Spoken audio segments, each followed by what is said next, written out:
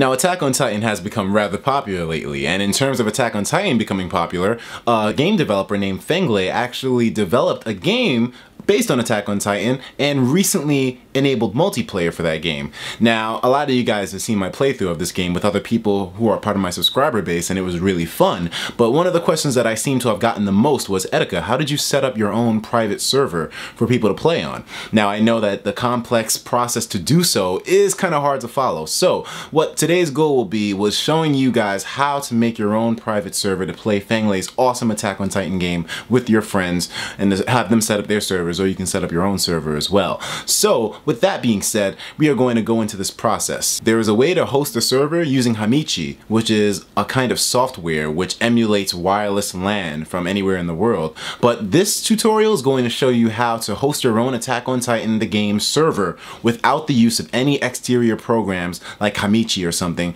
using straight up nothing but port forwarding and your own wireless router you have to have a wireless router for this method. So let's get into it. Step one of this whole tutorial will be turning your IP address into a static IP address so that you can enable port forwarding. You're going to have to download this program, the PF Static IP. And basically what this will do is with one click of a button, turn your IP address from dynamic into static, which will enable you to be able to port forward to allow people to play on a server.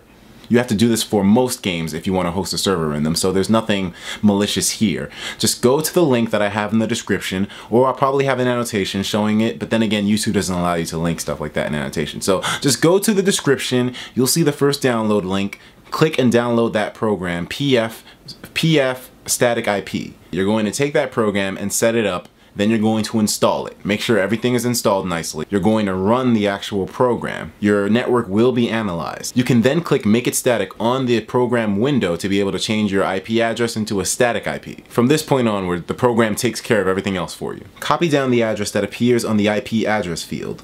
For this tutorial, we'll use 12.12.12.12 as my static IP address, the new IP that the static IP program gave me. So congratulations, you actually have your static IP address all set up and ready to go. So we have finished step one of this tutorial. So now let's go into step two. Step two will be enabling port forwarding to set up wireless servers on your wireless router. So let's get into it. Now there's a second link in the description that I'm going to need you to go to in order to continue this process. So go to the description and then go to the secondary link that's in the steps that I put and you'll be able to find what you need to do. So go to that page. Just as a heads up, this is where steps get a little bit different because from this point forward, the steps that you need to take to enable port forwarding for your wireless router will be different depending on what kind of wireless router you have. I have a Netgear wireless router while you may have a Belkin or something else like that. So the steps from this point forward will be slightly different for you, but they'll have the same general direction, but later on in the tutorial, they will specialize quite a bit. So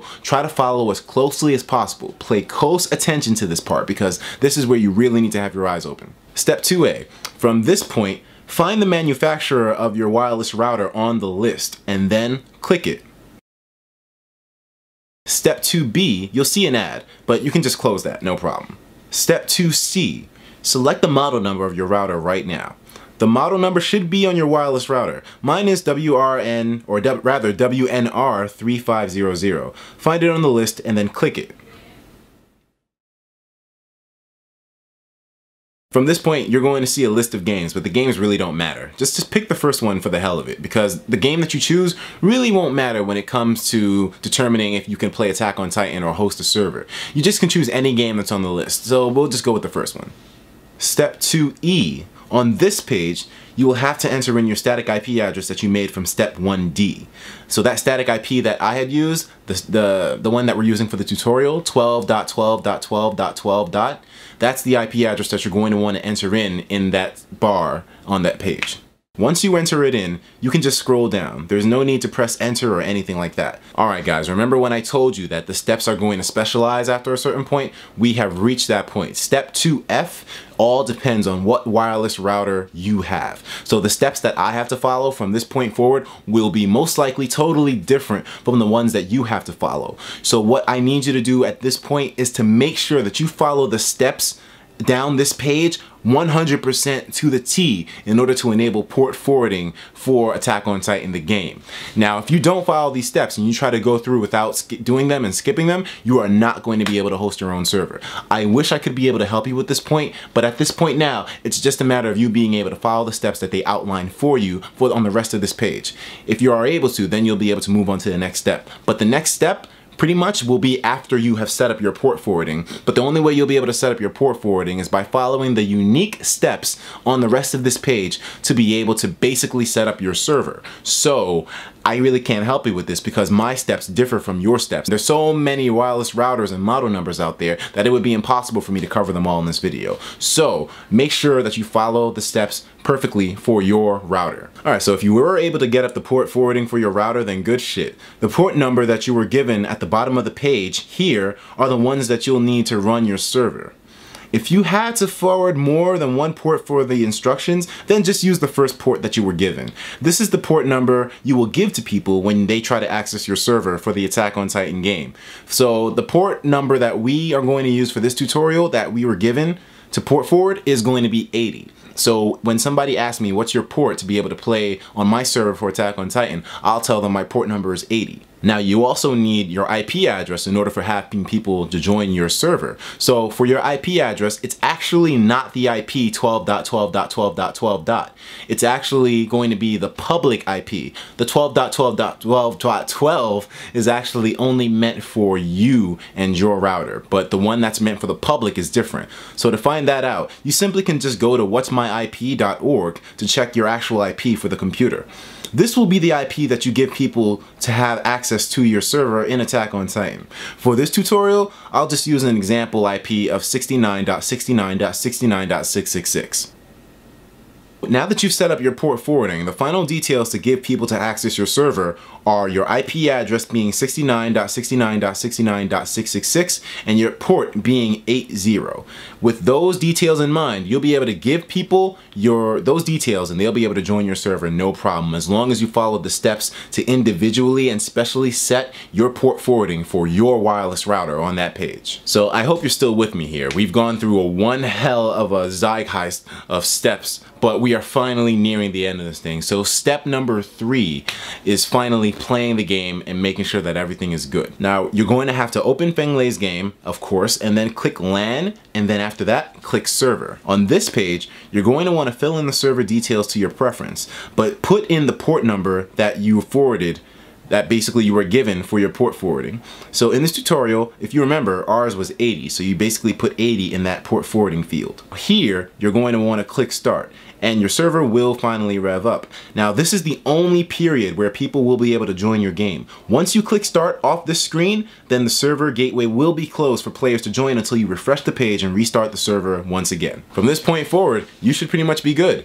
Now, there are some important steps that you need to remember or rather some important notes that you need to remember for after everything is set up. Now for people joining your server, they really do not need to do anything extra. People that are just joining onto a server don't need to have port forwarding, they don't need to have PF static IPs, they don't need to have anything special.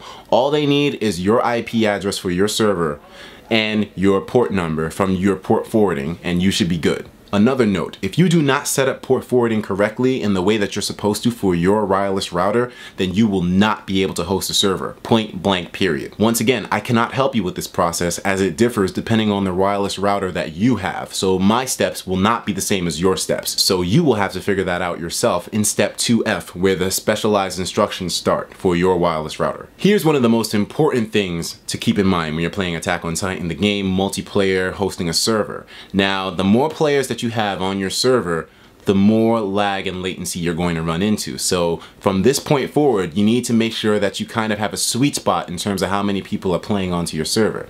Now, where my sweet spot is around six people. Maybe I can fit in seven and there won't be that much lag, but six seems to be the safe number for me. Any more than that and you'll start to experience real big latency issues and the game will play really choppy and will be pretty much unplayable. So make sure that you find out where is a safe spot for the amount of people that can play on your server.